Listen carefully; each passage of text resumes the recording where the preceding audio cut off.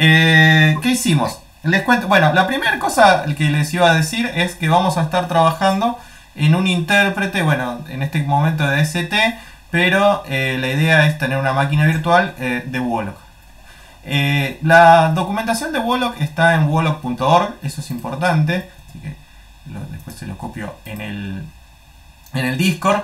La parte interesante acá es que en la parte de, de documentación hay una guía cortita de cómo es el lenguaje, de los diferentes elementos que tienen. No vamos a implementar todo, todo, todo. Vamos a centrarnos en ciertas cosas que nos van a llevar a, ver ciertos conceptos. Por ejemplo, eh, vamos, sí vamos a implementar envío de mensajes, sí super, sí inicialización de objetos, pero eh, tiene muchas, muchas variantes Wollock de hacer cosas distintas porque bueno, está pensado que dependiendo del docente cómo lo quiere, cómo quiere dar el curso de objetos, lo va a decir de una forma u otra. Entonces va a usar algunos features otros. Pero para nosotros vamos a centrarnos en básicamente en objetos básicos, manejo de strings, por ejemplo fechas no nos importa. Eh, y después, bueno, comparación de objetos, envío de mensajes, creación de clases, super, eh, superclase, eh, todo lo que es delegación, eh, todo eso lo, vamos a tener que, tener un poquito de colecciones mínimo porque nos va a permitir manejar ciertos features más interesantes del lenguaje y vamos a trabajar hasta clases. No vamos a implementar, no es el objetivo implementar mixins que también están en, en porque no, no, le agrega mucho más, o sea, sí agrega, se aprenden más cosas, pero se va, digamos, del alcance que queremos hacer. Eh, una de las cosas interesantes que tiene Wollock es que tiene objetos literales y además objetos nombrados que yo puedo crear así de la nada. Esto tiene consecuencias interesantes. No vamos a empezar por acá porque realmente eh, tiene un montón de cosas por detrás, pero ya vamos a llegar. O sea, es probable que eh, si no hoy, hoy al final, la semana que viene ya van a crear y van a ver. otro comentario, Wollock es un lenguaje eh, dinámico, lo que se llamaría un lenguaje dinámico. Está basado en clases y, básicamente es eso. Nosotros para empezar, como bien dijo Guille, eh, no, no, queremos arrancar de escribir una ST desde una gramática de cero, porque eso hay un montón de cosas. La mayoría de, trabajos en compiladores, de cursos de compiladores, de cursos de, arrancan desde ahí. Y la verdad que hoy en día es medio... Eh, medio un poco no se usa tanto porque uno trabaja con herramientas de más alto nivel que nos dan ya generado el, el AST a partir de una gramática. Eh, y nosotros le vamos a dar ya el AST generado a partir de una gramática que escribí, que es bastante molesto de escribir, por eso no tiene mucho sentido ganar, es más bien una tarea eh, repetitiva que eh, se lo damos acá. Es un AST, este proyecto, ahora se los voy a mostrar.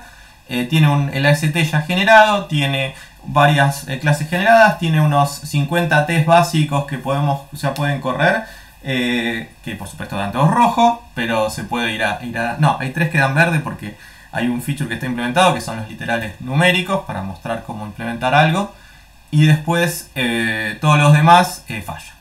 Así que después.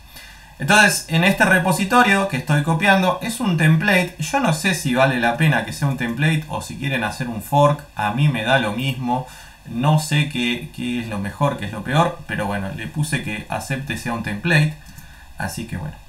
Eh, para esto, por supuesto, esta implementación eh, nosotros ya habíamos dicho, la, vamos a, la hicimos en Faro.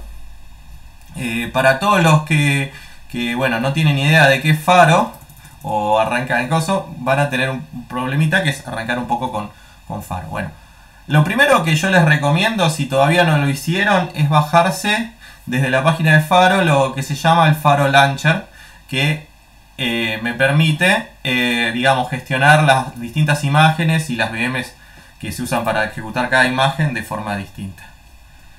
Eh, entonces, lo que una vez que lo instalen van a tener algo como esto, seguro va a estar vacío el de ustedes porque no tienen imágenes. Y lo que tenemos que arrancar es a partir de una imagen eh, nueva de Faro 8. ¿sí? Nosotros vamos a usar Faro 8 que es la última versión estable. ¿sí? Acá elegimos nuevo, yo hice clic acá, me salió la nuevo. Vamos a poner, elegir Faro 8, en mi caso 64 bits. Eh, no sé por qué hay otras opciones que no son válidas para mí, como por ejemplo 32, pero no importa, no voy a empezar a rantear ahora. Eh, y vamos a crear una imagen nueva que vamos a llamar Wolock Posta. Porque ya tengo la versión que yo estaba creando de este, pero la quiero iniciar desde cero. Entonces vamos a crear una imagen nueva, esto se lo va a bajar, son 50 megas más o menos la imagen y 5 o 6 megas la BM, la BM se reutiliza para todas las imágenes que son iguales. Y bueno, eh, la va a bajar y en esta, en esta imagen vamos a, vamos a jugar. Eh, una pregunta, hay gente, hay mucha gente, hay gente, poca gente que está perdido completamente con Faro, que ya saben, que trabajaron en otro Smalltalk, ¿cómo es la cosa? Eh, porque capaz estoy hablando, estoy hablando completamente repitiendo cosas que saben, o estoy yendo muy rápido, o no sé qué estoy haciendo. Eh, así que bueno, si, pueden decirlo o por el canal de voz o por el, canal de texto, lo que fuera, eh, eh, estaría bueno. Ok, sí, manito, manito así palma es que tenemos que ir más despacio y manito pulgar arriba es que estamos todo bien. Pulgar abajo no sé qué significa que, estamos en el horno, pero bueno, también pueden hacerlo y vamos viendo lo que quieran. si no usamos otra codificación. Bueno. Ya bajó la imagen, o sea, una sola vez. Entonces, lo que podemos ir haciendo, si quieren, eh, si hay más... ¿Cómo estamos? La estadística... Oh, la estadística me mata porque no hay ninguna, ninguna tendencia clara. Em, lo que podemos hacer es que, bueno, se vayan bajando el faro launcher, todos aquellos que no lo tengan, es la mejor manera. También se puede bajar la VM y la imagen separada, pero es más trabajo. Se bajan el faro launcher mientras. Y bueno, yo les muestro mientras tanto. Lo único, una vez que ya esté instalado, ustedes van a tener ninguna cuando arrancan. Al crear una solo van a tener la primera. Si le dan launch, debería arrancar todo de, automáticamente. Crucemos los dedos. Y eh, va a lanzar, tenemos que darle un poco de tiempo. Mi máquina está streameando y copiando eh, y, tratando de hacer todo al mismo tiempo. Ahí arrancó. Bolo posta, arrancó. Eh, la primera cosa que tienen que ver es que eh, es eh, en Dark. Tiene, el Faro 8 tiene un tema en Dark. Si les gusta, todo bien. Si no les gusta, hacen clic acá donde dice Light Team en, el en la ventana esta de Welcome. Y debería cambiar todo a fondo claro y ser, feliz. Yo lo voy a usar en, Dark porque Faro 8 es Dark Team, Faro 9 es Light y eso lo tengo, yo pienso así, perdón, es un problema. Entonces, bueno, eh, este es Faro. Básicamente, Faro es a la vez que es toda la VM, el ambiente de ejecución, digamos, las librerías. Pablo, Pablo. Sí. Pablo. Sí. Eh, me parece que el white es mejor para el video. Bueno, está bien. Se lee mejor. Está bien. Sí, después, bueno, si se arrepienten y quieren volver a cambiar, esto es importante, vienen a Help, Welcome to Faro, les vuelve a abrir la misma ventanita y acá pueden eh, setear También tiene para setear cosas más que normalmente nadie, no es necesario, se debería autodetectar y cosas así y andar de primera, pero también se le puede setear eh, que use un proxy o distintas settings directamente desde acá. Bueno, ok, entonces yo les decía, eh, básicamente eh, vamos a, lo primero que vamos a hacer es instalar nuestro código. Para ejecutar, para instalar el código, según lo que dice acá, en, unas instrucciones muy extensas, espero que no se cansen de leer todo lo que escribí, dice que tenemos que evaluar en el playground esta, estas instrucciones. Bueno, básicamente, ¿qué significa esto? Que lo primero que tenemos que hacer, ah, que acá no lo dice, va a ser eh, crearse cada uno su propio repositorio, ya sea clonando, eh, forqueando este, o usando este como template, o haciendo lo que quieran, o copiándolo a mano, empezando vacío, no sé, lo que quieran. Pero cada uno debería tener un repositorio GitHub o cada uno. Si lo van a compartir, pueden usar el mismo, no, es lo mismo, no hay problema. Pero bueno, también pueden arrancar de este y después decidir agregar un remote, no pasa nada. Entonces dice que hay que evaluar esto en el playground. Eh, esto parece chino básico para muchos, y lo más probable que sea. Y bueno, lo que tenemos que hacer es ir a dentro de Faro, dentro de lo que es Tools, vamos a elegir aquí Playground. ¿Qué es el Playground? Básicamente es un REPL. Es una, ventanita donde podemos evaluar cosas. Eh, evaluar expresiones, hacer lo que querramos. Por ejemplo, yo podría, cosa interesante, ver el factorial de 42. ¿sí? Y para ejecutar algo en el REPL, tengo, puedo hacer botón derecho y hacerle do it, que lo que ejecuta y no, no me imprime nada, o print it, que va a ejecutarlo e imprimirme el resultado. Ahí, re útil, me imprimió factorial de 42 por si alguno lo necesitaba. Eh, para ir al supermercado, eh, seguro necesitaba. Eh, otra cosa que puedo hacer es que cualquier expresión en Faro, esto es muy lindo, la puedo debaguear y ya vamos a ver que esto es importante. La puedo debaguear y bueno, me abre el debugger, que por ahora solo vamos a abrirlo y ver así, después vemos cómo rápidamente se usa. Entonces, lo que tenemos que hacer, vamos a copiar y pegar esta, este pedazo de, texto que teníamos en el GitHub. Cambiarle, ustedes deberían cambiarle acá el nombre de, su usuario o grupo o organización, si quieren, de, tres personas. Y eh, acá el nombre del repositorio. Entonces, vamos a pintar toda la expresión con control A o seleccionando todo. Y le vamos a dar do it o le podemos dar también, que acá no se ve muy bien cuando le pongo el mouse arriba, eh, meta D o control D, dependiendo en qué sistema operativo están. En Linux y en Windows es control D, control más D, y en Mac es manzanita D o meta D. Yo lo voy a ejecutar, o también lo podemos hacer desde acá, desde, directamente desde DUIT.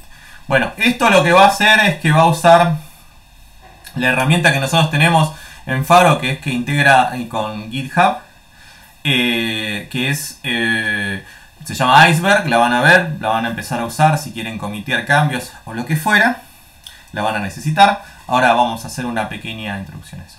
Em, mientras tanto, les cuento que bueno, sí, van a tener que sufrir porque decidimos hacerlo en Faro. ¿Por qué decidimos eso? Porque nuestra idea es darle en todos los casos cosas un poco construidas para, sobre todo las cosas que son molestas, onda eh, la ST, crear el ST de cero es medio molesto o eh, otras cosas. Entonces, y además lo que queremos hacer, eh, si todo funciona, es que bueno, es que tengamos implementaciones comparables y que si algún día eh, hay grupos que deciden hacer, eh, yo digo grupos, pero podría ser de unipersonales, deciden hacer una solución o la otra, poder compararlas y decir, mira, esta es más rápido acá, pero es más lento allá, pero coso, tiene esta ventaja, tiene esta otra ventaja de simpleza, lo que fuera, eh, y es más fácil compararlas si están en, la mismo, en el mismo lenguaje. Y además porque, bueno, lo decidimos así, es, la, es una, un acto no democrático. Bueno, Ahí instaló, ahí hizo un montón de cosas, mostró un montón de progress bar, todas bonitas, pero o horribles, como la quieran ver, pero no sé qué hizo. Bueno, básicamente esto me creó, me, bajó el código lo instaló eh, un montón de paquetes. En Faro, vamos a abrir la herramienta para browsear código, que es el System Browser. Para los que ya son, eh, saben, alguna vez usaron Smalltalk esto les resultará bastante conocido. Para los que no, básicamente es lo que me permite browsear el código estático, así muerto, bien frío y, muerto. ¿Qué dice? Ah, eso es lo que dice Guille, no sé. Cualquier cosa, Guille, interrumpir.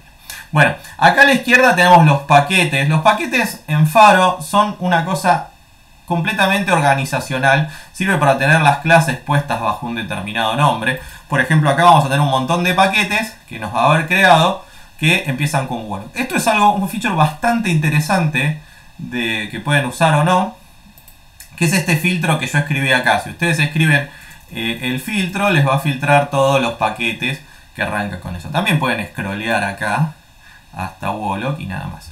Eh, puede parecer un poco confuso al principio porque en Faro nosotros podemos ver el código de todo Faro, ¿eh? de cualquier parte del, sistema y hay, bueno. Entonces eh, puede parecer al principio confuso. Entonces a veces es bueno, eh, digamos, es copiar la vista de lo que tenemos. ¿Qué es lo que tenemos acá? Bueno, básicamente hay un parser. Este parser tiene una serie de, de montón de clases. Básicamente cada una de esas clases representa un tipo de nodo. Eh, como ven, no supe nunca usar bien la herramienta de generación de código porque me puso abstract node node. pero bueno, eh, y bueno, tenemos una clase para cada uno. Este código generado pero no lo vamos a volver a generar. Así que si ustedes lo quieren modificar, lo pueden modificar, ya sea agregándole variables de instancia o agregándole métodos o sacándole variables de instancia, sacándole métodos van a hacer que se rompa. Pero, o sea, el parser ya no va a funcionar más, pero todo lo demás va, a funcionar. Digamos, eh, básicamente tenemos un parser que funciona, que nos va a devolver a partir de una de una de una de una string, de una string, mejor dicho, ahí está, ahí me sale la palabra, de una string con código Wollock nos va a devolver por ejemplo, yo puedo hacer acá, no sé, 1 más 1 por 3, no sé, como nos había dicho, y eh, podemos ver que nos devuelve. Por supuesto, acá puedo hacer eh, botón derecho, print it. Uh, lo maté. Ahí está. Oh, se rompió. Perdón, esto no está bien escrito. Sí, porque las expresiones no son top level, Pablo. Sí. Ah, no, es verdad. Yo le. Bueno, no importa. Vamos a escribir. Déjenme, un segundo. Quería, quería mostrar algo, quería mostrar algo y, y, me salió mal. Bueno, no importa. Tenemos un pedazo de programa.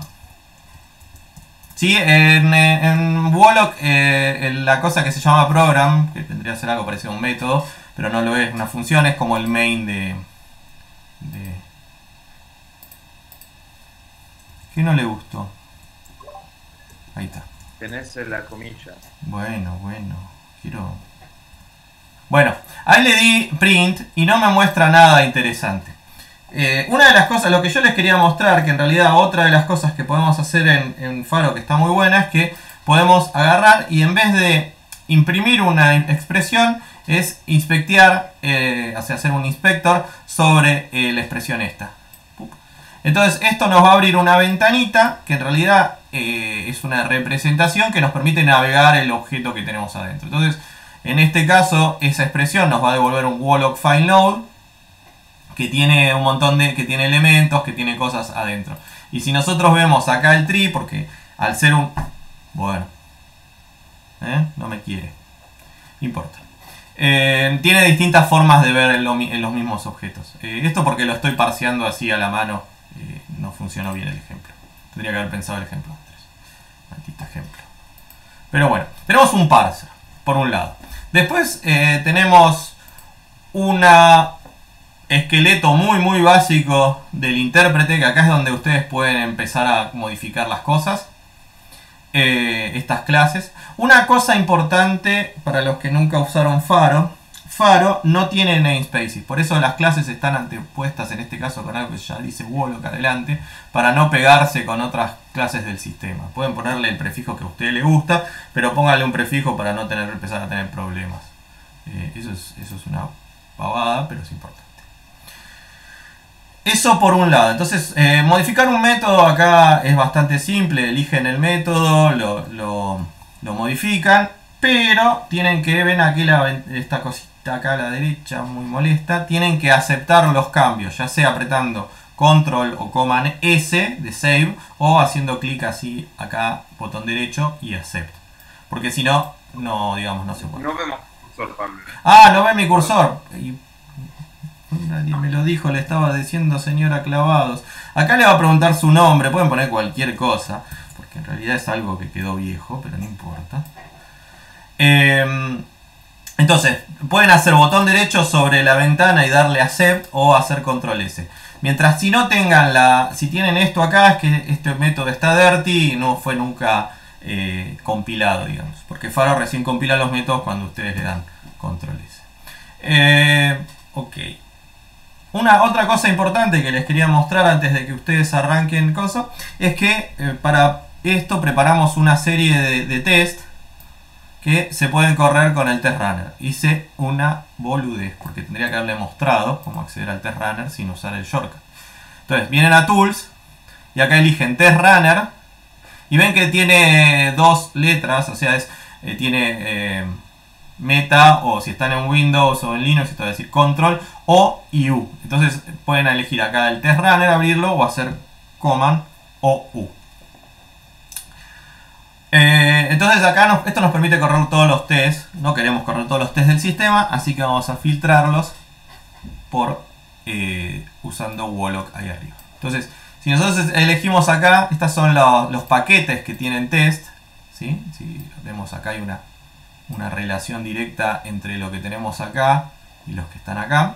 Y eh, yo los organicé de 1 a 7 cosas que van agregando eh, complejidad, digamos, de forma incremental. Está basado en features. Pero hay algunos features que necesitan de otro feature y es medio complicado el orden porque no era, no era lineal el orden, pero bueno. Entonces lo que pueden hacer primero es arrancar corriendo estos tests. Para correr los tests, corren los tests que están eh, pintados, que están seleccionados. Y le dan run selected y bueno, y ahí va a correr los tests. Y en este caso va a ir corriendo los tests y va a generarle todos los tests que están fallando. Esa es una manera de correrlo. La otra manera de correrlos es venir acá desde, desde el browser, desde Calypso, que se llama Calypso, pero esto tiene nombre, y hacer clic acá en el botón, en la pelotita roja. Eh, es roja la pelotita y... Eh, ¿Cuál es la diferencia? Bueno, que la pelotita roja nos va a abrir directamente un debugger donde esto esté fallando. ¿Sí? Y en este caso los va a ejecutar y si falla no nos va a decir nada y para abrir el debugger hay que cliquear en uno de los errores y nos va a abrir el mismo, el mismo debugger. Eh, pueden tener los debuggers abiertos al mismo tiempo, debugger 2, 3, no pasa nada, normalmente es una buena idea ir haciendo las cosas de a uno, pero bueno. Eh, y la idea, bueno, acá llega a un punto donde tengo un método que no está implementado porque, bueno, el, el visitor, el intérprete que, le dimos, básicamente tiene implementado algo así como un método. Sí, un solo método para visitar nodos que sabe visitar un número nomás. Eh, bueno, eso. Y eh, la última cosa que les quería contar, todo lo demás podemos ir eh, diciendo a medida que vayan probando y teniendo problemas, es cómo comitean código en su de vuelta. Bueno, para comitear código, esto es discutible, tienen que usar Iceberg para guardar el código en Git. No dice, tendría que decir acá, no sé, Git Tool, whatever, pero es Iceberg porque es el nombre de fantasía, que es la herramienta de cosas.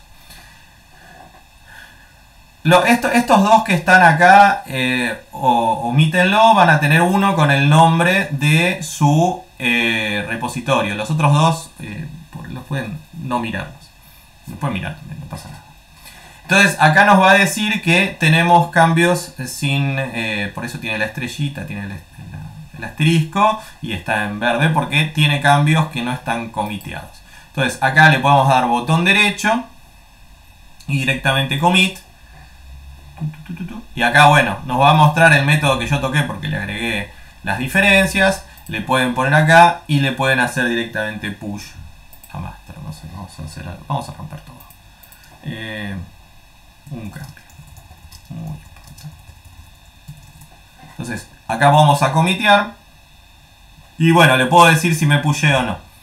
Eh, si ustedes le dicen que pushé, va a pushear. Eh, si están usando HTTPS, les va a pedir la, la clave. Si están usando SSH, es porque ya tienen la clave instalada en su sistema con el SSH Agent, porque usan otro cliente de Git y les anduvo, y entonces no les va a pedir nada. Em, bueno, comiteo, vamos a hacer el commit local. Por supuesto, este commit es local y si se fijan acá les dice que no, hay uno que no está publicado. Y bueno, lo que pueden hacer directamente acá es hacerle push o pull o todas las operaciones. Ya estas operaciones son más comunes de Git y bueno, eh, si hay alguien que está muy perdido con Git, lo vemos, pero bueno, tratamos de que Iceberg tenga todas las mismos términos, terminología de, Git, así que no debería ser mayor problema. Eh, el problema principal es encontrarlo de acá. Una cosa importante, eh, recuerden que el código que ustedes escriben vive en la imagen. ¿eh? La imagen funciona como un documento con todo. Así que cada tanto acuerden de hacer save de la imagen con todo el estado que tienen, incluyendo el código, los objetos y las ejecuciones. Es más, a tal punto de que si la cierran y abren va a arrancar, por ejemplo vamos a cerrarla, va a arrancar eh, con las mismas ventanas abiertas, los mismos debuggers, las mismas eh, las mismas cosas. Por ejemplo, si yo vengo de vuelta al faro launcher y le doy launcher, este que se llama vuelo posta, me va a abrir exactamente en el, el modelo. Eso es porque eh, Faro, como otros Smalltalks, está basado en una imagen. Eh, creo que hablé mucho, yo quería hablar menos, pero bueno, espero que, que, bueno, si tienen dudas, las vayamos viendo. La idea ahora es la parte interesante del, del taller, es que, es que se lo podamos hacer eh, o vivo. Eh, yo no sé cómo pensaba Guille manejarlo. Yo tenía pensado de que, bueno, que si quieren quedarse acá en el canal general, de ir abriendo los canales vos si tienen alguna pregunta o algo, lo vamos haciendo, o se van a otros canales, o nos pinguean y dicen, che, mira, ¿me podés explicar esto? Y la idea es que lo más probable es que todos tengan, o la mayoría tengan los mismos problemas. Eh, así que capaz está bueno verlo en el, en el canal general. Así que bueno, eso, eso es todo de mi parte.